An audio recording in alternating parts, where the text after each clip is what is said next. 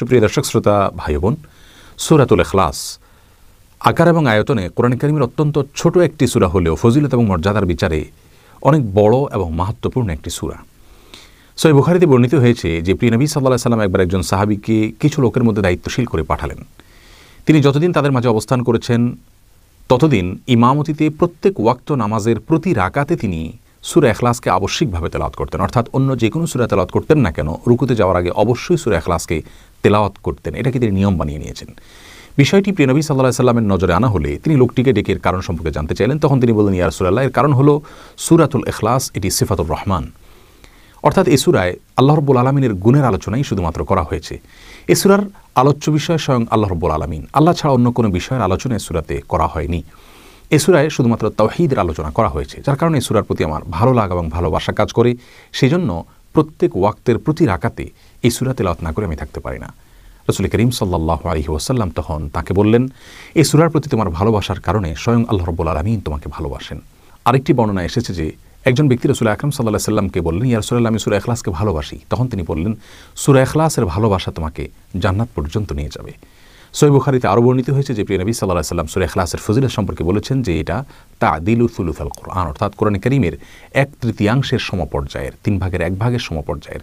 এ হাদিসের ব্যাখ্যা মহাদিসদের কেউ কেউ বলেছেন যে এর অর্থ হলো কোরআন করিমের আলোচ্য বিষয় তিনটি। তমদ থেকে একটি হলো তৌহিদ যেহেতু এ সুরায় শুধুমাত্র তৌহিদ সম্পর্কে আলোচনা করা হয়েছে, এই জন্য এটাকে কোরআন করিমের এক তৃতীয়াংশ বা তিন ভাগের এক ভাগ তথা তিনটি বিষয়বস্তুর একটি বিষয়বস্তু সমৃদ্ধ সুরা বলে আখ্যায়িত করা হয়েছে।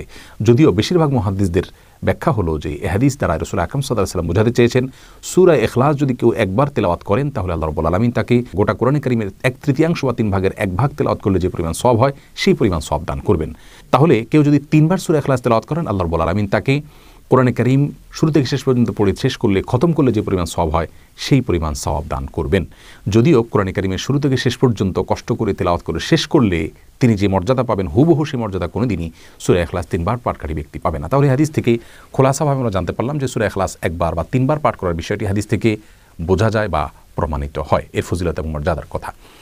এর বাইরে সুরে এখলাস দশ বার, পঞ্চাশ বার একশতবার দুইশতবার কিংবা এক হাজার বার তেলাওয়াতের কোনো ফজিলতের কথা রসুল আকরম সাল্লাহ সাল্লাম থেকে বর্ণিত হয়েছে কিনা, আমরা সে বিষয়টি জানার চেষ্টা করি। সুরে এখলাস একবার তেলাওয়াত করলে অমুক ফজিলত, দুইবার করলে তমুক ফজিলত এবং দশবার করলে তমুক ফজিলত, বারোবার করলে অমুক ফজিলত, এরকম একটি হাদিস পাওয়া যায়। কিন্তু সেই হাদিসের সনদকে মুহাদিসিন একরাম জাল এবং ভিত্তিহীন বলে আখ্যায়িত করেছেন।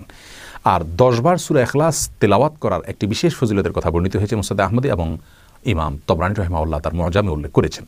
সে হাদিসের ভাষ্য হলো এরকম যে ব্যক্তি সুরা এখলাস কুলহুয়াল্লাহ সুরা দশবার পাঠ করবে আল্লাহ রবুল আলমিন তার জন্য জান্নাতে একটি প্রাসাদ নির্মাণ করবেন। সে হাদিসের সনদ সম্পর্কে শেখ আলবানী রহমাহুল্লাহ সহি বলে মন্তব্য করলেও ইমাম হাইসামি রহমাহুল্লাহ সহ সময়কালীন যুগের অনেক মহাদ্দিসগণ সে হাদিসের সনদকে দায়ীব বলে মন্তব্য করেছেন।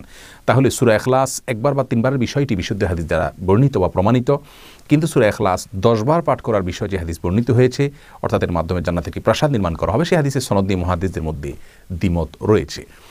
আর সুরে এখলাস পঞ্চাশ বার পাঠ করা একটি বিশেষ ফজিলতের কথা মুসদ আবু আলাতে বর্ণিত হয়েছে জেহাদিসের সনদ সম্পর্কে ইমাম ইবনে কাফির রহমাহুল্লাহ দয়াইব বলে মন্তব্য করেছেন। এছাড়া সুরে এখলাস একশতবার পাঠের ফজিলতের কথা একটি হাদিসে বর্ণিত হয়েছে, সেটিকেও মুহাদ্দিসিন একরাম দয়াইব বলে মন্তব্য করেছেন। দুইশতবার সুরে এখলাস তেলাওয়াত করলে, পাঠ করলে তার বিশেষ কিছু ফজিলতের কথা বর্ণিত হয়েছে কয়েকটি হাদিসের কিতাবে।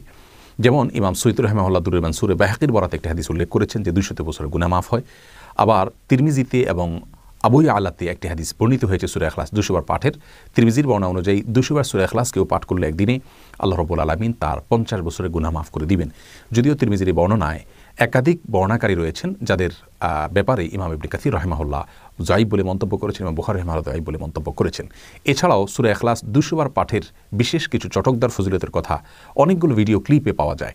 যেমন সুরে এখলাস যদি উজু করে কেউ প্রতিদিন দুশোবার তেলাওয়াত করেন, তাহলে তার নয়টি বিশাল বড় ফজিলত অর্জিত হবে, অমুক অমুক ফজিলত অর্জিত হবে, এরকম অনেকগুলো চটকদার এবং মুখরোচক ফজিলতের কথা বর্ণিত হয়েছে, যেগুলোর কোনো ভিত্তি রসুল করিম সাল্লাহ সাল্লামের কোনো হাদিস থেকে খুঁজে পাওয়া যায় না। তাহলে খোলাসা কথা হলো, সুরা এখলাসের ফজিলত এটি মূলগতভাবে প্রমাণিত। রসুল আকরম সাল্লাহ সাল্লামের বিভিন্ন হাদিস দ্বারা। অতএব সুরা এখলাস যত বেশি সংখ্যকবার সম্ভব আমরা তেলাওয়াত করার চেষ্টা করব, এর মর্ম, এর শিক্ষা নিজেদের ভেতরে ধারণ করার চেষ্টা করব। এছাড়া সকাল সন্ধ্যায় সুরা তিন তিনবার তেলাওয়াতের কথা, প্রত্যেক ওয়াক্ত ফরজ নামাজের পর তেলাওয়াতের কথা, রাতে শোয়ার সময় তেলাওয়াতের কথাও হাদিস দ্বারায় বর্ণিত রয়েছে। এই সুরা দশবার তেলাওয়াতের যে ফজিলতের কথা আমরা শুনলাম, সে সম্পর্কিত হাদিসের সনদি মহাদিসিন ইকরামের মধ্যে মত পার্থক্য রয়েছে। পঞ্চাশ এবং একশো বার তেলাওয়াতের ফজিলত সম্পর্কিত হাদিসের সনদকে মহাদিসিন ইকরাম দোয়াই বলেছেন, আর দুইশতবার সুর আখলাস তেলাওয়াতের যে ফজিলতের কথা আমরা শুনলাম, সে সম্পর্কিত কিছু হাদিস রয়েছে দোয়াইফ, আর কিছু আছে সম্পূর্ণ ভিত্তিহীন এবং মন গড়া প্রচারণা। আর সুরা এখলাস এক হাজারবার তেলাওয়াত করারও বিশেষ কিছু ফজিলতের কথা, ঋণ পরিশোধ হওয়া এবং মরণাপন্ন ব্যক্তি সুস্থ হয়ে ওঠা সহ আর অনেকগুলো ফজিলতের কথা আমরা শুনতে পাই বিভিন্ন সোশ্যাল মিডিয়ার বিভিন্ন ভিডিওতে। সেগুলোর কোনো ভিত্তি, কোনো হাদিসে খুঁজে পাওয়া যায় অতএব আমরা সুরা এখলাস বেশি বেশি করে পাঠ করব। আর যে কোনো আমলের ফজিলতের বিষয়ে আমাদের মৌলিকভাবে ধারণা থাকতে হবে। কোনো আমলের ফজিলত প্রমাণিত হওয়ার একমাত্র উপায় হলো কোরআন এবং হাদিস। ওহি ছাড়া অন্য কোনো উপায়ে কোনো আমলের ফজিলত জানা যাবে না। যার কারণে কোনো আমলের বিশেষ কোনো ফজিলত যদি কেউ দাবি করেন আর সেটি কোরআন হাদিসে প্রমাণিত না হয়, তাহলে সেটা প্রকারান্তরে আল্লাহ এবং তার রসুল সাল্লাহ সাল্লামের নামে মিথ্যাচারের সামিল। আল্লাহ রবুল আলমিন আমাদেরকে সুরে এখলাসের ফজিলতের বিষয়টিকে বোঝার তৌফিক দান করুন এবং বেশি থেকে বেশি এ সুরার আমল করার তৌফিক দান করুন। আসসালামু আলাইকুম রহমতুল্লাহ বরাকাত